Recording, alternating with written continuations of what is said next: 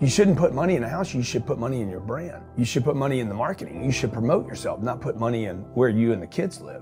Right. Why is that a mistake? Because it's dead money. A house can't make you money. The only reason people think a house makes money is they're comparing it to if I rent, that costs me money. But if you go on a trip, you go to America and you want to go to Disneyland, you don't buy the hotel, you rent a room. And nobody thinks bad poorly of that. They're like, yeah, I'm gonna go there, use the place, and get out. That's what you should be doing with your living. Find a place where you can rent, rent, rent, pay rent monthly. Don't own the house. And take all the money that you would have put in that house purchase, down payment, extra money, use all that money to improve your business and yourself so that you can get more money. If you study wealthy people, they're mercurial, they're moving, they're mobile. Warren Buffett and Bill Gates do not talk about the home they live in. They talk about the places they're going to. They go meet money. They go meet wealth. They go meet connections.